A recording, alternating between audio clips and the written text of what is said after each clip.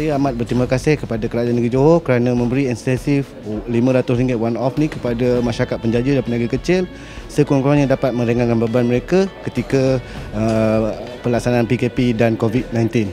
Terima kasihlah atas sumbangan yang telah diberikan uh, belanjawan Johor ni lah. Semenjak PKP ni, COVID ni memang peniaga-peniaga terasa lah dengan adanya bantuan ni sedikit sebanyak uh, dapatlah membantu golongan peniaga macam kita kami lah. Dan uh, terima kasih saya ucapkan sekali lagi pada kerajaan Johor dengan bantuan ni saya ni sudah accident dulu saya bawa lori sekarang ah, habis tak boleh kerja saya meniaga ini jual ikan sudah 3 tahun. Yalah itu COVID-19 sekarang sampai sekarang tak ada meniaga habis sikit susah sikit lah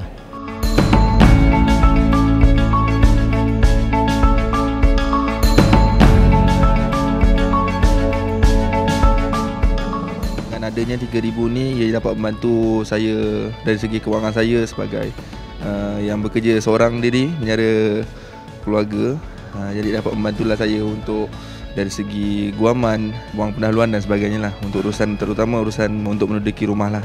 Saya mendapat rumah di Bandar Sri Zamrud, Bandar Tiram 1. Dengan voucher ni saya rasa dipermudahkan lah untuk segala uh, kos untuk pengurusan membeli bayar, bayar guaman ataupun membeli perabot di rumah.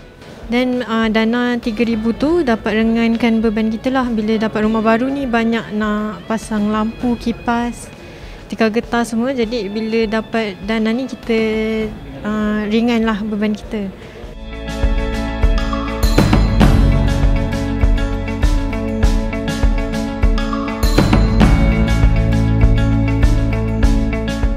Tinggi penghargaan dan jutaan terima kasih kepada Menteri Besar Johor dan Kerajaan Johor kerana telah memberi bantuan kepada mahasiswa IPTA dan berasal daripada negeri Johor.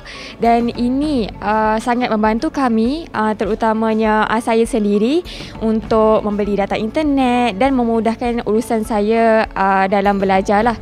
Saya dari pelajar UTSM dari kos pengurusan harta tanah. Dapat ini mahasiswa 150 dapat bantu saya dalam pelajaran. Saya rasa bersyukur.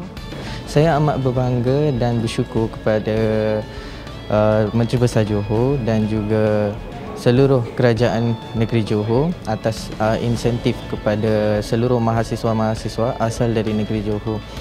Uh, bantuan ini terutamanya kepada saya membantu saya untuk uh, mendapatkan akses uh, internet dengan wang tunai ini dan juga saya uh, saya percaya bantuan ini amat membantu kepada semua mahasiswa supaya mendapat dan menjayakan dalam pendidikan masing-masing.